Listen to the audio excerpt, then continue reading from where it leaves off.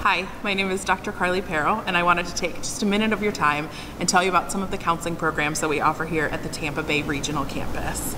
Uh, we have a general master's in counseling program, and we offer a number of concentrations within that master's. Two of them we offer at the regional campus. One is clinical mental health counseling, and the other is our school counseling program. The clinical mental health counseling program is a 60 credit hour program that prepares you for licensure in the state of Florida um, and all that that entails. Our school counseling program also prepares you to be a certified school counselor here in the state of Florida. Some unique things about our Tampa campus format are that they are offered on weekends. So we really have designed the program for working adults uh, who have other obligations outside of school but are still passionate about pursuing this license or certification um, and furthering their education. So these courses are offered on weekends, the Friday night, Saturday, and Sunday.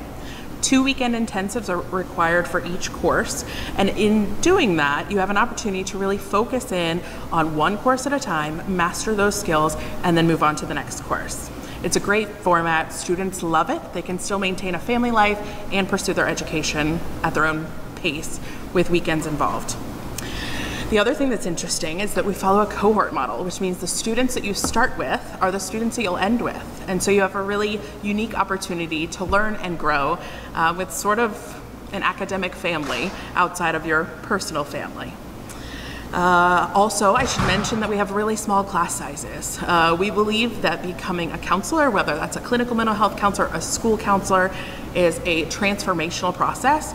And so the faculty are going to be really involved in your academic life and your professional journey. Classes will typically not be larger than 15, so you have an opportunity to get really hands-on attention and real experiential practice in the classroom. That's probably one of my favorite things because I like teaching the experiential courses. Lastly, um, our regional campus is growing and we are going to be moving from Tampa to Clearwater in a new 325,000 square foot building. It's going to be huge. State of the art gym, two story gym. We're going to have cafeteria and food services and coffee, of course, to keep you going on the long weekends. Uh, it's going to be beautiful, close to the Tampa Bay airport and really close also to Clearwater Beach. So we're looking forward to the move. We hope to see you there and uh, give us a call and reach out if you have any questions.